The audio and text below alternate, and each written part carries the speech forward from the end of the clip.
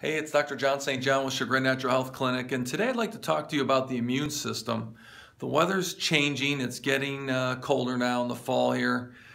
Your uh, immune system is going to get a little bit taxed, so you really want to keep that boosted. And one way to do that is actually eliminating sugar from your diet.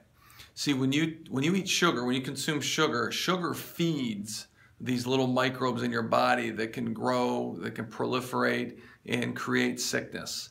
So if you have a little sniffle, if you have a sore throat, um, even if your joints are feeling a little bit achy, uh, any of those types of things, watch out for sugar right now. I mean, even fruit sugar, even the high starchy, sugary fruits, you may want to avoid. Uh, go with protein, vegetables, the low starchy vegetables, drink lots of water. Um, fermented veggies are, are very good for boosting the immune system as well. But uh, that sugar, it causes inflammation. It causes uh, uh, the bugs to grow. That's what they feed on, and we want to starve those guys. So hopefully this was helpful for you, and uh, you take care.